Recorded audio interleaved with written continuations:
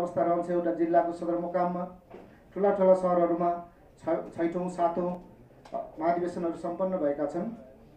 यति मात्रै हो।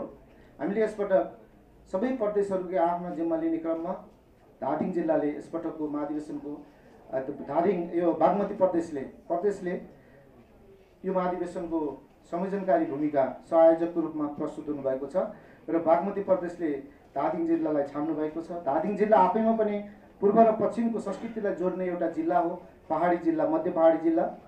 त्यहाँको संस्कृति र हामी जुन परिवेशबाट लोकगीतलाई बोकेर आएका हौँ भोलि त्यही परिवेशमा त्यही फेरिफेरिमा बसेर यो महाधिवेशनलाई सम्पन्न गरौँ। हिजो ठुला ठुला सहरहरूमा बसेका सुख सुविधा भन्दा हामी जुन धरातलबाट यहाँ आयौँ त्यही धरातलमा बसेर हाम्रो महाधिवेशन हाम्रा प्रतिनिधिहरूलाई त्यो त्यहाँको त्यो पहाडी भेगको एउटा स्वाद पनि चखाउँ। त्यहाँको प्राकृतिक मनोरममा पनि साथीहरूले पहाडी हेलमेल होस् भनेर हाम्रो एउटा चाहना पनि छ। त्यसैले कोभिडको वर्ष आर्थिक मन्दीको वर्ष भएको कारणले यस वर्ष हामीले आर्थिक रूपमा पनि अत्यन्तै मितव्ययी भएर प्रस्तुत हुनुपर्ने भएको हुनाले हामीसँग आर्थिक रूपमा पनि हामी अत्यन्तै कसिनु पर्ने भएको हुनाले यसपटकको महाधिवेशन विगतका महाधिवेशन जस्तो झक्किझकाउ अथवा देख्दा त्यति आर्थिक रूपमा वैभवशाली नहुन सक्छ।